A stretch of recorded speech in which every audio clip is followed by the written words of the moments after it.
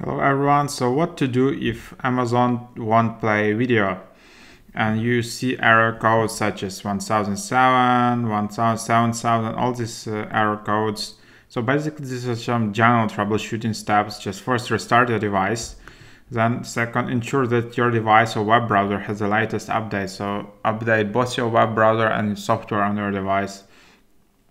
Ensure that uh, your HDMI cable is functional and it's compatible with HDCP 1.4 and HDCP 2.2 for uh, high HDR content. Uh, other internet activity, just check your internet connection, check your speed test, uh, try to connect to another device, move closer to router, elevator router of the floor, like move away from some, some devices like microwave ovens and stuff like that, which can block like Wi-Fi connection.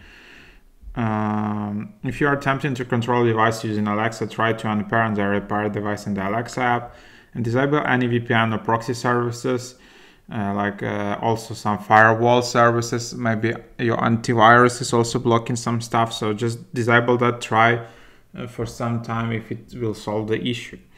So these are just some trouble, general troubleshooting steps, how some of them will help you.